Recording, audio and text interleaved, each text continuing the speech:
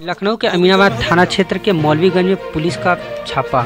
यह खबर यूपी के लखनऊ से जहाँ मुर्गे की दुकान में पुलिस ने मारी छापा।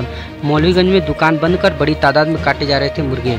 चोरी छिपी बेची जा रही थी चिकन। दुकान के बाहर से ताला लगाकर दो मंजिला छत पर दिया जा रहा था लापरवाही को अंजाम। छत पर चारों तरफ़ फैला है खून, गंदगी और भाई दुर्गंध। घनी आबादी से घिरे इलाके में दुर्गंध से संक्रमण का खतरा।